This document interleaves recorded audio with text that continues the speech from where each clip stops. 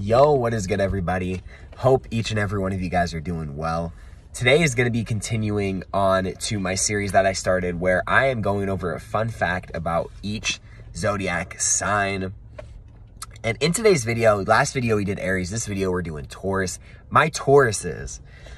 Fun fact about y'all is that you guys are really great at materializing or manifesting material wealth, right? This is the sign that generates material wealth. Honestly, probably one of the best signs to do it because it is an earth sign that is grounded, but the you have you take the influence of Venus, which is the planet that Taurus is ruled by, and you understand that it's a sign of beauty. It's a sign that is just really great at attracting material things into their life. This is a lot of the times why they be, tend to become materialistic because they can be possessive over their material things, but they are very, very great at manifesting material items. Whenever they put their, you know, whenever they put the work in, um, they can manifest, right?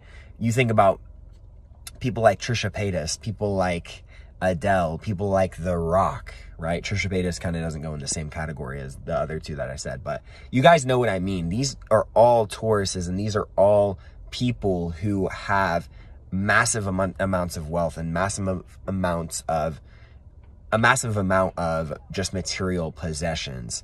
And so that's a fun fact about Taurus. You know, I know there's a lot of other things that I could talk about, but this is my fun fact about Taurus. Hope you guys enjoyed. Next, I'm going to be doing Gemini. All my Geminis out there, shout out to y'all. But yeah, with all that being said, guys, have a wonderful afternoon, morning, or night, wherever you're at. And peace, love, and happiness. Mwah.